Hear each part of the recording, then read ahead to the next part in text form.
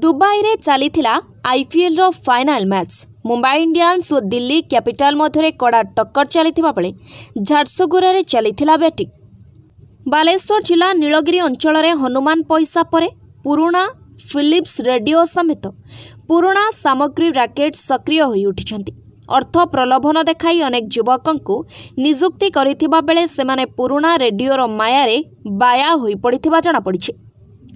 ଠକେଇ ଅଭିଯୋଗରେ ଜଣେ ଯୁବକଙ୍କୁ ଗିରଫ କରିଛି ପୋଲିସ।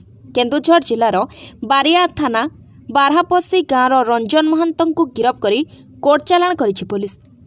ତିନି ଦିନ ପାଇଁ ସାନହୁଲା ପଞ୍ଚାୟତ ସଟ୍ଡାଉନ୍। କରୋନା ସଂକ୍ରମିତ ଚିହ୍ନଟ ପରେ ପଦକ୍ଷେପ ନେଲେ ସରପଞ୍ଚ। ବୁଧବାର ସକାଳ ଛଅଟାରୁ ଆସନ୍ତା ତେର ତାରିଖ ସନ୍ଧ୍ୟା ଛଅଟା ପର୍ଯ୍ୟନ୍ତ ଦୋକାନ ବଜାର ବନ୍ଦ ରହିବ। ବଲାଙ୍ଗୀର ପାଟଣାଗଡ଼ରେ ଚାଞ୍ଚଲ୍ୟ। ଗୋଟିଏ ଘରେ ପଡ଼ି ରହିଛି ଛଅ ଜଣଙ୍କ ମୃତଦେହ। ଘଟଣାସ୍ଥଳରେ ପୋଲିସ ପହଞ୍ଚି ତଦନ୍ତ ଆରମ୍ଭ କରିଛି। ଆଉ ତିନି ଦିନ ପରେ ଆଲୋକର ପର୍ବ ଦୀପାବଳି। ଚଳିତ ବର୍ଷ ଦୀପାବଳି ଅବସରରେ ରାଜଧାନୀରେ ଫୁଟିବ ନାହିଁ ବାଣ। କୋଭିଡ୍ କଟକଣାକୁ ଦୃଷ୍ଟିରେ ରଖି ଏଭଳି ପଦକ୍ଷେପ ନେଇଛି କମିଶନରେଟ୍ ପୋଲିସ।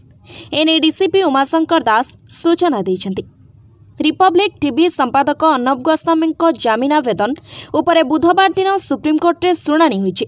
ବିଚାରପତି ଡିୱାଇ ଚନ୍ଦ୍ରଚୂଡ଼ଙ୍କ କୋର୍ଟରେ ଶୁଣାଣି ହୋଇଥିବା ନେଇ ସୂଚନା ମିଳିଛି।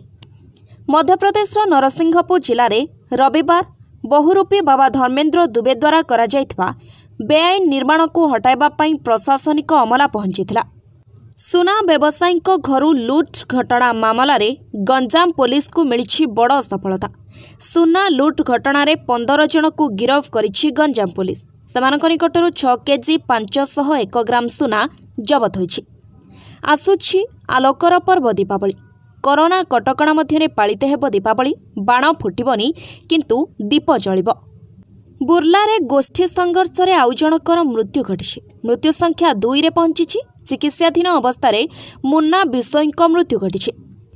ବିହାର ବିଧାନସଭା ନିର୍ବାଚନରେ ଏନ୍ଡିଏ ଏବଂ ମହାମେଣ୍ଟ ମଧ୍ୟରେ କଡ଼ା ଟକ୍କରରେ ବାଜି ମାରି ନେଇଛି ଏନ୍ଡିଏ। ବିଜେପି ଏବଂ ଜେଡିୟୁ ମେଣ୍ଟ ଏନ୍ଡିଏକୁ ପୂର୍ଣ୍ଣ ବହୁମତ ମିଳିଛି।